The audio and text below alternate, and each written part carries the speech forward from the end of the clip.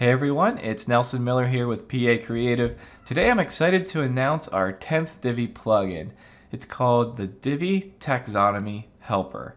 So you may be thinking, well, that's kind of an odd name, and it's because it's a little bit of an odd plugin. This plugin enables image support for taxonomies, and then it also enables support for you to add those in the theme builder. So you can make pages for like uh, your event categories or you know WooCommerce product categories, blog post categories, tags, and have an image associated with the theme builder template. Also, it has a custom module with a lot of content and design settings, and we're going to take a look at all this here real quick.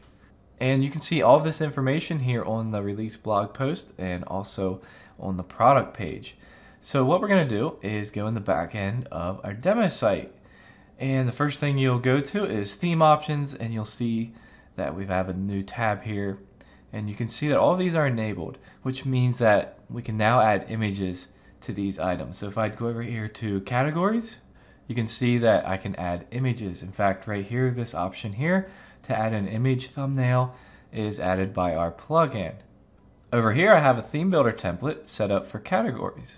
So in here I have a couple examples but in the section I have the background image set to the featured image, which is that image that I've added to the taxonomy, all right?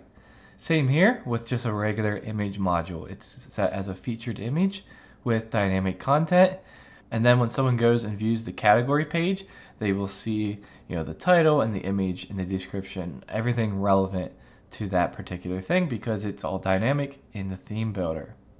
And here's just a quick example of that. You can see the image is in the background there or the image is here as an image module. Next is adding the module. So if you search for taxonomy, you can find it. And here is basically um, a grid layout that's totally customizable. And you can choose, you know, which post type, um, what to display. You can even use dynamic content. If you added this to a blog post, it would show the categories in that post. Here you can select individual terms that you would want to show up right here.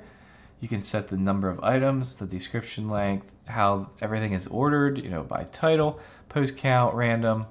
Um, you can customize the button text, you know, um, view posts or whatever you want to say there.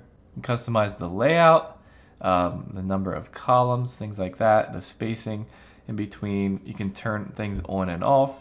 You can show a post count, which is the number of items in that taxonomy. You can turn on pagination, show the button description, image, and you can even show icons if you want instead of the images. In the design tab is pretty much everything you would expect, everything to style every part of this. Taxonomies is like the whole, you know, the whole card here in the grid, the images, icons, the title text, the post count text, description text, and the button. Everything is normal, all the all the settings you would expect, border and spacing and you know, here's image height and width and you know, fit and everything that you would expect for styling can be done here. And we'll show you some demos. Here's a couple demos that I threw together. Um, just, you know, it's totally endless, right? So here's another one. You can do anything that you want with the styling. Alright, so I hope you've enjoyed that little tour around the plugin, and admittedly it is a little bit unique, but hey, so are we. We saw a need in the market for it, so we created it. A really good use case is, you know, product categories, really good for your e-commerce store. Event categories, if you're using, you know, the events calendar, maybe our Divi events calendar. If you're using LearnDash or Lifter, or something like that, great for courses and topics um, you know, obviously for projects in your portfolio, great for that as well, and blog posts. So pretty much wide open. Any custom taxonomies and post types that you add, it's great for them as well. So I hope you can see the value in this little plugin, and I hope you enjoy it.